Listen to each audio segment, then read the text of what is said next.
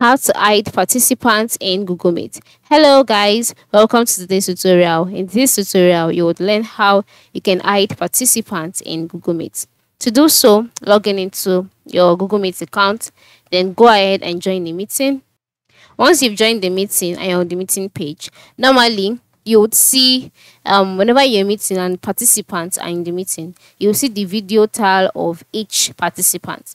And so the next thing for you to do is for you to move to the participant that you would like to hide.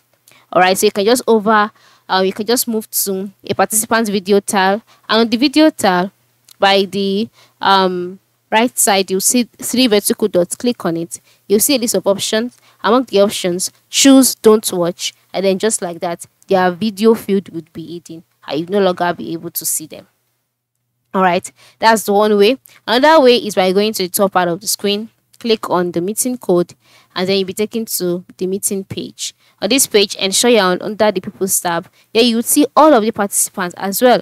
So once you can see them move to the right side of the screen click on the three vertical dots that you can see there and then you will see the option don't watch. Click on it and then you'll be able to deactivate their video feed. And then you can also reactivate or make them seen again by tapping start watching and they will be visible again.